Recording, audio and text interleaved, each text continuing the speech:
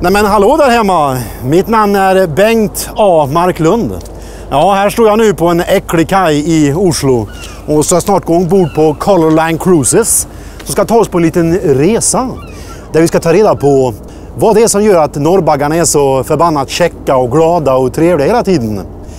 Det är alltså den här båten vi ska gå ombord på. Du ser hur den ligger här, nymålad, guldrandad båt. Cruises.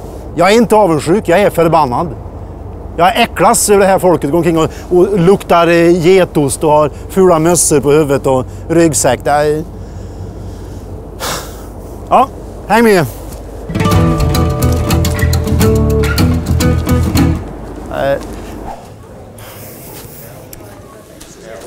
Gud vilka köer. Det är helt otroligt detta. Jag har stått här i ja, det är två minuter nu. Två minuter har jag köat här. Hei. Nej, Marklund, Bengt. Se her. Jeg har ikke noen Bengt, men jeg har en Adolf. Nej, eh, inte Bengt. Det är Bengt Adolf. Det är efter min far. Han var lite ordningsam. Da har du ditt boardingkort. Det er en femstjerners lugar med fri minibar og frokost. Og gratis inngang til spa og fitnesssenter. Ja, men då vill jag bli incheckad också nu här. Ja, det har du blitt allerede. Ja, jag är lite misstänksam. Du måste ha glömt någonting tror jag här, men... eh, Nei da, det har ja, ikke. det får vi väl se.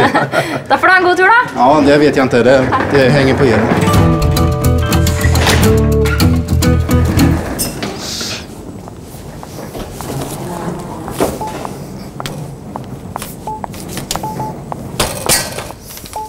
Oj, hej. Trevligt. Du, kan du hjälpa mig för att jag har... Den verkar inte... Hallå, kan du hjälpa? Det, det fungerar inte. Hon har checkat in alldeles för snabbt där på incheckningen. All information har inte kommit in på kortet. Nej, det går inte. Där. Oj. Den har vi inte i Sverige. Det.